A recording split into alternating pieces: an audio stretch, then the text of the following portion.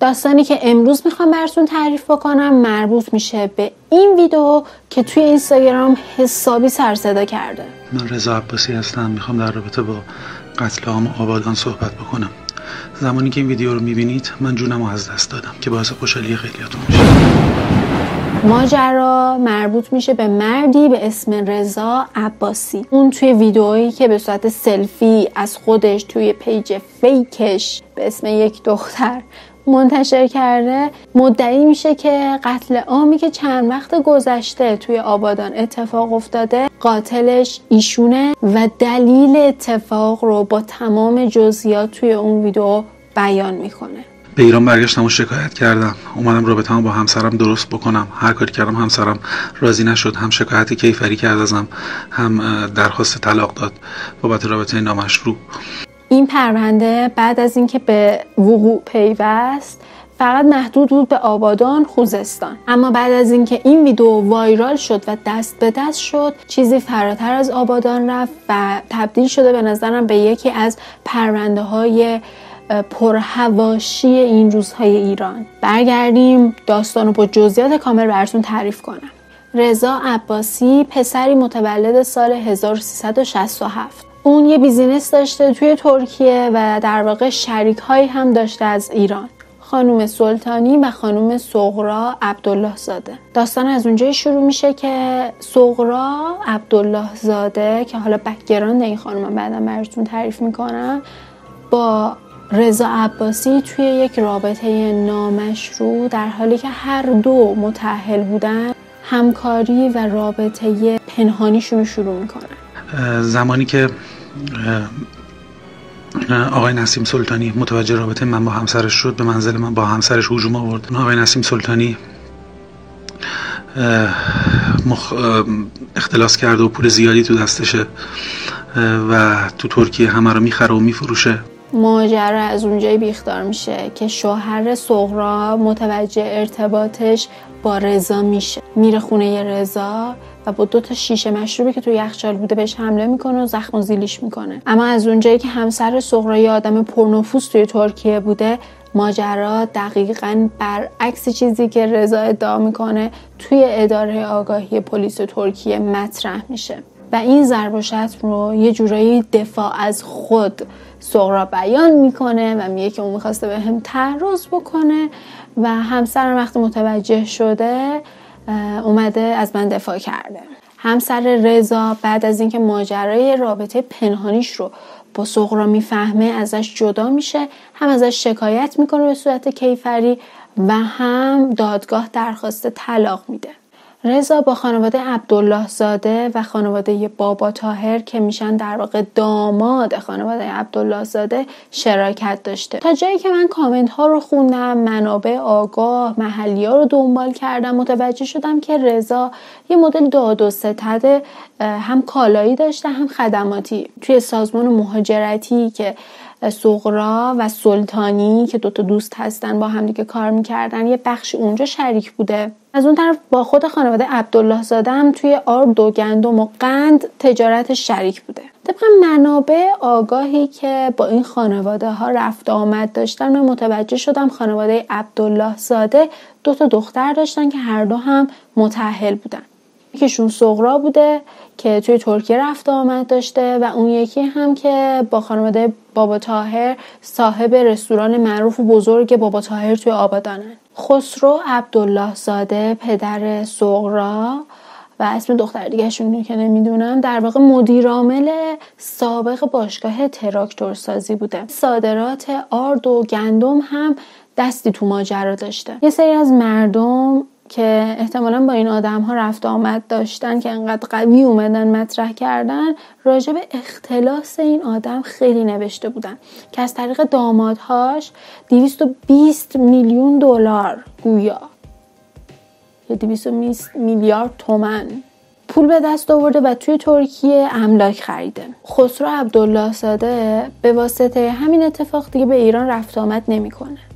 نسیم سلطانی و سغرا عبدالله زاده توی ترکیه به واسطه حال سرمایه هایی که از قبل داشتن شرکت مهاجرتی به کانادا زده بودن و خیلی مردم نوشته بودن که همین شرکتشون کلی پول از ما گرفته و پولای ما دستشون مونده و دارن اینا خودشون باش بیزینس می‌کنن و کار مردم راه نمیفته و کلی هم شاکی داشتن. خواستم یعنی اینا رو براتون بگم که این خانواده خیلی معروفن.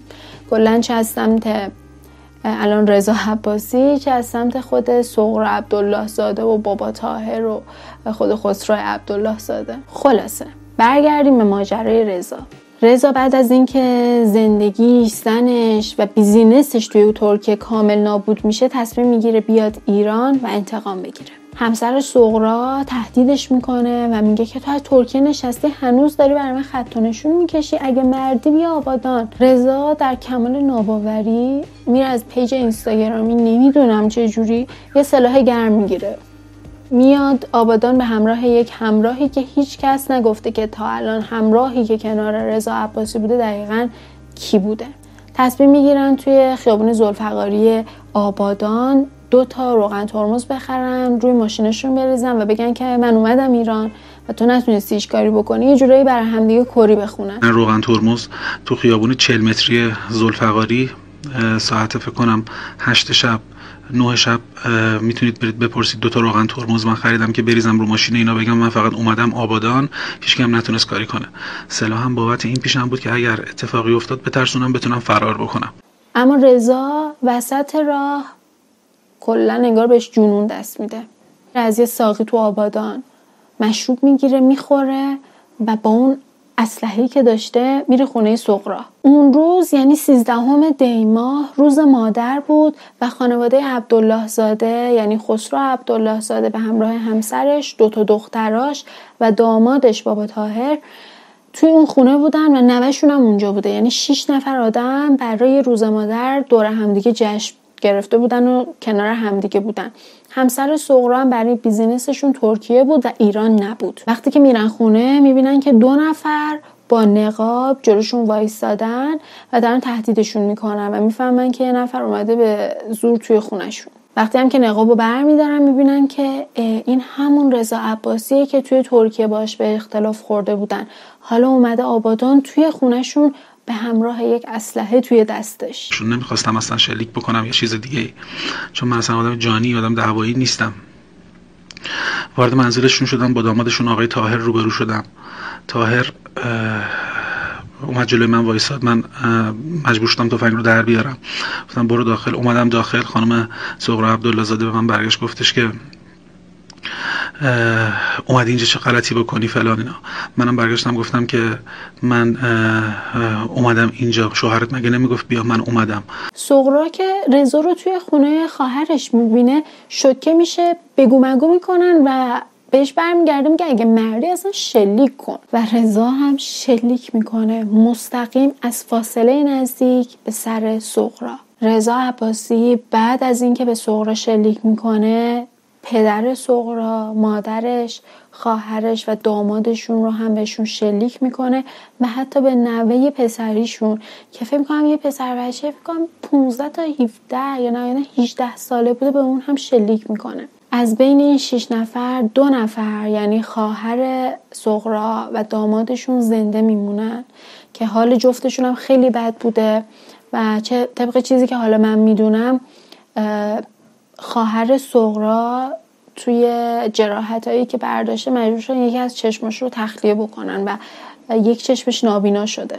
نوشون هم در حالی که همچنان بعد از اینکه تیر خورده بود زنده بوده با دست رضا خفش کرده و بعدش هم متوالی شده.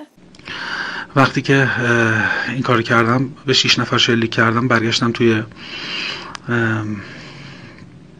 برگشتم توی ماشین و تا اصفهان اومدم. تا اصفهان اومدم و چند روز رو تو کوچه و باغ و اینجور چیزا سر کردم. و دیدم که من آدمی نیستم که بتونم اینجوری زندگی بکنم. تصمیم گرفتم خودم رو خلاص بکنم. بعد از اون رضا متواری میشه میره اصفهان و چند روزی رو توی باغا و کوچه های اصفهان میگذرونه و فکر کنم تازه اون موقع بوده که این ویدئوی اعتراف رو پر کرده. چون متوجه شده دقیقا چیکار کرده رفته با یه اسلحه شیش نفر رو کشته و برگشته. همون موقع از رابطه ای که با سغرا داشته فیلمش رو توی اینستاگرام هم منتشر می‌کنه. یک بار قبلا منتشر کرده بود ولی پاک می‌کنه و دوباره منتشر می‌کنه.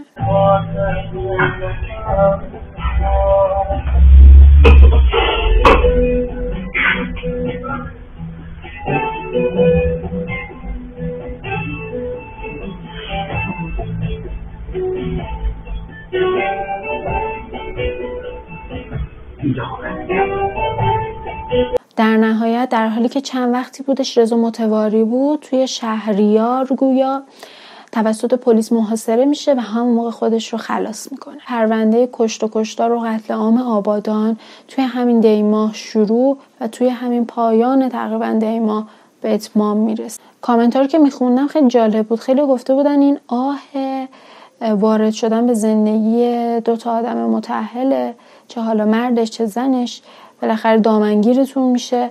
و جورایی حق داده بودن که همچین بلایی سر آدمای این ماجرا بیاد.